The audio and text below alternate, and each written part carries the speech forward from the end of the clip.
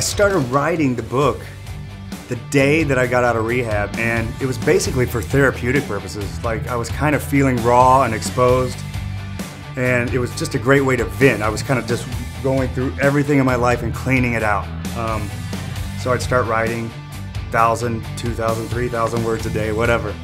And you know, after a few months of that, I was like, man, this is, is a large portion of my life here. It's pretty decent. I sent it to my dad, and he was like, well I'm not so sure that you want to release it in this form because it's pretty out there, you know. So he agreed to help me with some revisions, and it actually started to turn out pretty decent. Uh, I sent it to my management, and they were all into it. Cool. They sent it to our uh, our agency, and uh, they shopped the book and landed a deal. I couldn't believe it. I never expected it to turn into this thing, but you know, along the way, it became apparent that this story could actually help some people.